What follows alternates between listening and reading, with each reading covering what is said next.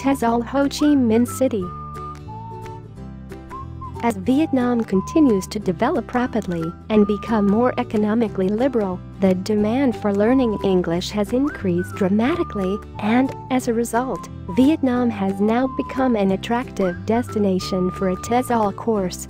Our TESOL course in Ho Chi Minh City is highly regarded, and after completing the course you will find plenty of job opportunities for teaching English in Vietnam and elsewhere in the region. Vietnam has, in the recent past, suffered an image problem, largely due to the conflict there in the 60s and early 70s.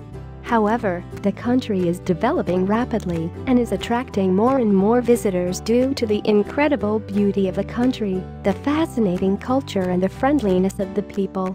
There are many beautiful beaches that run along the Vietnamese coast, and inland you can find green paddy fields tended to by rice farmers in their conical hats and towering mountains covered with rainforest. Despite its rapid economic growth the country has retained its heart and culture. Ho Chi Minh City is the country's largest city and has a population of approximately 7 million people. Formerly known as Saigon, Ho Chi Minh City is the financial heart of the country and is regarded as the most modern city in Vietnam. Here you can see a city of contrasts, where old colonial buildings stand side by side with modern skyscrapers. The old and the new appear to mix comfortably in this fascinating city.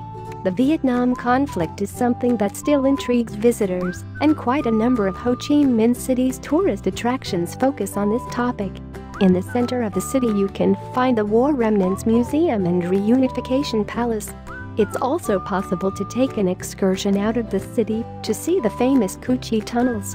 Ho Chi Minh City has many other attractions, and there are many beautiful temples and pagodas that can be visited both in the city itself and in the surrounding area. Other interesting trips can be made to Vietnam's lovely beaches, or perhaps escape from the bustle of the city with a boat trip on the Saigon River.